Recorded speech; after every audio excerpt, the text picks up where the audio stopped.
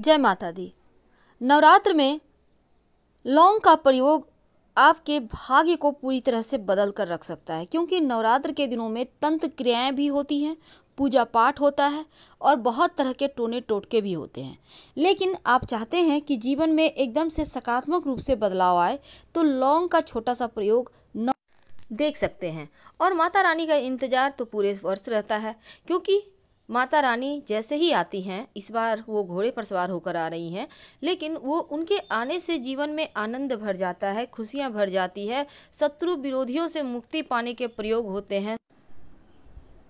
नवरात्र में नौ दिनों तक माता रानी की विशेष पूजा आराधना की जाती है, विशेष भोग लगाए जाते हैं और कुछ खास प्रयोग भी किए जाते हैं। पहले दिन माँ शैलपुत्री की आराधना होती है दूसरे दिन माँ ब्रह्मचारिणी की आराधना होती है और तीनों लोग उनके सामने नतमस्तक मस्तक हैं। तीसरे दिन माँ चंद्र घंटा की आराधना होती है। इनके घंटे की ध्वनि सुनकर विनाशकारी शक्तियाँ तत्काल ही चली जाती हैं। चौथे दिन माँ कुष्मांडा की आराधना होती है। मान्यता है इनकी हँसी से ब्रह्मांड उत्पन्न हुआ था। पाँचवें दिन माँ स्कंद माता की आराधना होती है और देवासुर संग्राम में देवताओं का सेनापति बनाया गया था कार्तिकेय कुमार को और वो उन्हीं की माँ है। छठे दिन माँ कात्यायनी की पूजा होती है और सातवें दिन माँ कालरात्रि, भगवती का विकराल रूप है। आठवें दिन महागौरी जिसको हम अष्टमी के अष्टमी के दिन उनकी आराधना करते हैं और सिद्धिदात्री नौवें दिन उनकी आराधना की जाती है और फिर विजयादशमी मनाई जाती है। लेकिन आज हम बात कर रहे हैं इस नवरात्र में लौंग के प्रयोग से कैसे आप अपने ग्रहों को बेहतर कर सकते हैं, जीवन की हर परेशानियों से बाहर निकल सकते हैं। आपको तो पता है नौ रूप देवी के नौ ग्रहों को कंट्रोल करता है। सूर्य, चंद्रमा, मंगल बुद्ध गुरु, शुक्र, शनि, राहु और केतु की शांति होती है। तो ऐसे में चलिए हम जानते हैं लौंग का वो खास प्रयोग जिसको कर लिया जाए तो माँ की कृपा बरसने लगती है। आपके जीवन की सारी विघ्न बाधाएँ, परेशानियाँ समाप्त हो जाती हैं। माँ दुर्गा, चाँद की तरह चमकने वाली पूरे जगत में व्याप्त और काल का नाश करने वाली हैं, रिद्धि सिद्धि को देने वाली हैं। तो सबसे पहले बात करेंगे लौंग का वो कौन सा प्रयोग है जो आपके जीवन के हर परेशानी को, हर कष्ट को समाप्त कर देता है। एक बात याद रखिएगा, अगर आप चाहते हैं पूरे जीवन में आपको कभी भी शत्रु विरोधी आपका कुछ बिगाड़ ना पाए, तब ऐसे में एक छोटा सा काम कीजिए। इस नवरात्र से आप माता रानी को दो लौंग अर्पित करना शुरू कर दीजिए। यानी रोज़ दो लौंग अर्पित करें, बिल्कुल साबुत लौंग अपने घर में ही कीजिए। अगले दिन उसको उठाकर प्रसाद के रूप में खा लीजिएगा, फिर अगले दिन कीजिए, फिर उसके अगले दिन उठा के खा लीजिएगा। ये प्रयोग पूरे साल बनाए रखिए। यकीन मानिए, शत्रु विरोधी कुछ नहीं बिगाड़ पाएँगे और सही समय पर आपकी आँखें खुल जाएगी और आप उससे बच निकलेंगे। यही तो माता रानी का आशीर्वाद है। तो ये तो थी एक सिंपल सा प्रयोग। अब हम एक छोटे से प्रयोग की बात करेंगे। देखिए कभी कभी क्या होता है, आपकी बहुत सारी ऐसी मनोकामनाएँ होती हैं जो लंबे समय से पूरी नहीं हो पा रही है। संतान की चाहत है, नौकरी की प्राप्ति की कामना है, शीघ्र विवाह की कामना है। बहुत सारी कामनाएँ होती है, स्वास्थ्य की भी कामनाएँ होती है तो भौतिक सुखों की भी कामनाएँ होती है तो उन कामनाओं की पूर्ति के लिए सताईस लौंग इस नवरात्र में किसी भी दिन यह प्रयोग कर लीजिएगा। सताईस लौंग ले लें ट्वेंटी सेवन बिल्कुल साबुत, खूबसूरत सा, बिना टूटा फूटा हुआ, देखे, देख के लीजिएगा।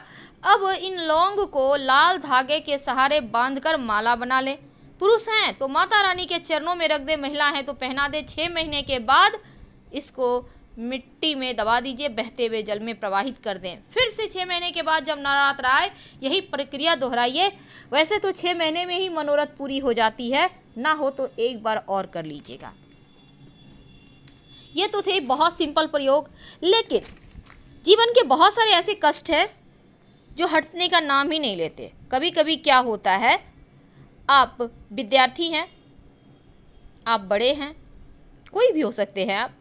अब आप चाहते हैं कि आपका जीवन के हर कष्ट समाप्त हो जाए, हर कामना की पूर्ति हो जाए। जो जीवन में परेशानियाँ घिर रही है, बहुत बार क्या होता है, जॉब करते हैं, प्रमोशन अटक गया है, रिटायर कर गए, पैसे नहीं मिल रहे हैं घर बनाया, घर का सुख नहीं है, बहुत तरह की चीज़ें होती है, जीवन में परेशान करके उलझा के रख देती है। तब एक पान का पत्ता ले लीजिए। उस पर दो लौंग पीछे की तरफ़, लौंग का, जो पान का पत्ता है ना, चिकना साइड नीचे कर दे, रूखा साइड ऊपर कर दे, दो लौंग रख कर किसी भी दिन नवरात्र में आप ये प्रयोग करें। दोनों हाथों से पकड़कर बहते हुए जल में प्रवाहित कर दें। और कहिए कि माता रानी, दुखों का नाश कीजिए। बिना पीछे मुड़े घर आ जाइए, हर मनोरथ पूरी होगी। अब शादी विवाह की बात कर ले। कई बार क्या होता है, शादी हो ही नहीं रहा। लाख प्रयास कर रहे हैं, रिश्ते आते हैं, टूट जाते हैं, तय होकर भी नहीं होता, हो रहा। पसंद नहीं आ रहे, जोड़ी जम नहीं रही। बहुत तरीके की चीज़ होती है। तब आपकी जितनी उम्र है, जिसका विवाह होना है, उसका जितना उम्र है। अब मान लेते हैं, आपकी उम्र सत्ताईस साल है और आपका विवाह नहीं हो पा रहा। आप चाह रहे हैं आपका विवाह हो जाए। तो सत्ताईस लॉन्ग ले लें। अट्ठाईस साल है तो अट्ठाईस लौंग ले लें। आपकी जितनी उम्र है, उतना ही लौंग लेना है। हर एक लौंग को बाँध बाँध कर लाल धागे के सहारे माला बनाइए, माता रानी को पहना दें। छः महीने के बाद मिट्टी में दबा दें या चलते हुए पानी में प्रवाहित कर दें, आपकी मनोकामना पूर्ण हो जाएगी। तो लौंग के प्रयोग से खुल जाती है बंद किस्मत के ताले। और ये सिंपल सा प्रयोग है। इसको आप किसी भी दिन कर सकते हैं। आपकी समस्त मनोकामनाएँ पूरी हो जाएँगी। वैसे तो नवरात्र में बहुत सारे प्रयोग किए जाते हैं। और उन प्रयोगों में एक और प्रयोग होता है, धन की प्राप्ति के प्रयोग। अब बिना धन का जीवन कोई जीवन ही नहीं है। अब धन नहीं आएगा तो भला आपको सुख साधन कहाँ से मिलेंगे? आप अपनी लाइफ को बेहतर कैसे करेंगे? कैसे आप अच्छे से जिएँगे? कैसे आप खाना खाएँगे? तो धन के प्राप्ति के लिए नवरात्र के दिनों में एक छोटा सा प्रयोग कीजिए। लगातार तीन दिन तक करना है। आप उसी अनुसार दिन चुन लीजिए। पान के पत्ते पर दो लौंग रखकर चिकने साइड पे रखिएगा। पीछे साइड नहीं रखिएगा। पीछे साइड हमने टोटका के लिए कहा था। अब जो आप माँ को पूजा में अर्पित करेंगे तो चिकने साइड पर अच्छे से धोकर साफ़ कर लीजिएगा। एक पान का पत्ता पर दो लौंग रखकर माता रानी को अर्पित कर दें। बाद में उठाकर प्रसाद के रूप में खुद भी खाएँ, अपनों को भी दें। यकीन मानिए, धन की मुश्किलें फिर परेशान नहीं करेगी। आप चाहे तो पूरा का पूरा खुद भी खा सकते हैं, कोई दिक्कत नहीं है। तो ये सिंपल सा प्रयोग है।